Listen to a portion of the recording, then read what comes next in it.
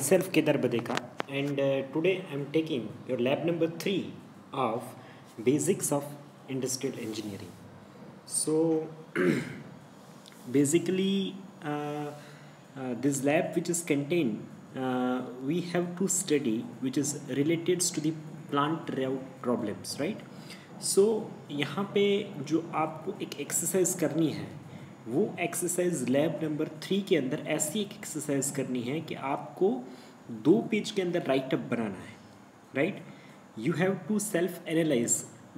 what are the problem we are facing during the designing of the plant layout so you have to start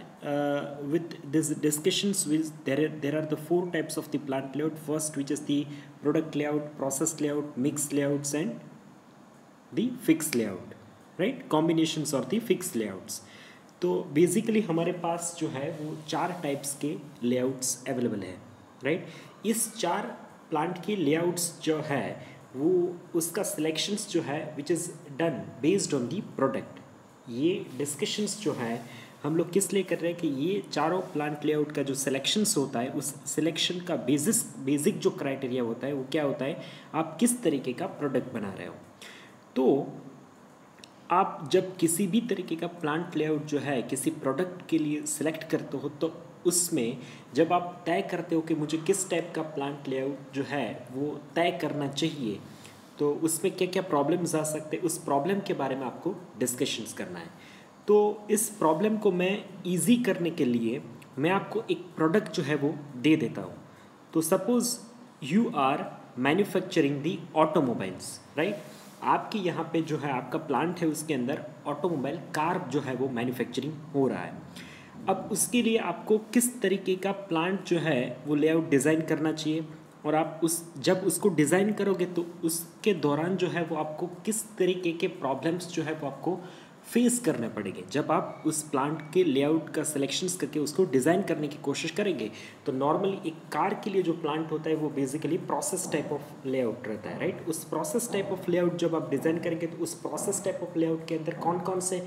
जो problems जो है, वो आते हैं, आपको कैसे प्रॉब्लम्स जो है, वो फेस करने पड़ेंगे, उसको डिस्कशंस आपको दो पेजेस के अंदर करना है। तो मैंने आपको एक एग्जांपल यहाँ पे जो है, वो बता दिया है। उस एग्जांपल को लेके जो है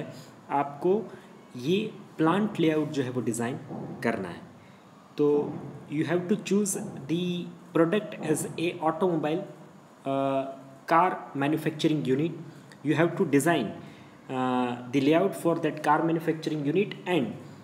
you have to discuss with yourself you have to utilise यानी आप देखो कि हम लोग इस uh, सारे, जो सारे लैब असाइनमेंट्स uh, कर रहे हैं तो उसके पीछे हमारा बेसिक ऑब्जेक्टिव है, ये है कि एज एन इंजीनियर जो है वो आप किस तरीके से, आपकी थॉट प्रोसेस किस तरीके से काम कर रही है। तो आपकी क्रिएटिविटी आपकी जो थिंकिंग पावर है उसको डेवलप करने के लिए हम लोग एक्सरसाइज कर रहे हैं। So you have to do this exercise in two two page to five pages right there is a no need for the extra write up for that kind of the problems Uh, if you uh, have any kind of confusions doubt regarding this kind of the lab assignments lab assignment problems uh, or some kind of the problems in the writing during the exercise you can contact me anytime. So this is all about the lab number 3 thank you so much for watching this video. Please write your enrollment number after watching these lab sessions in the comment section. Thank you so much for watching this lab session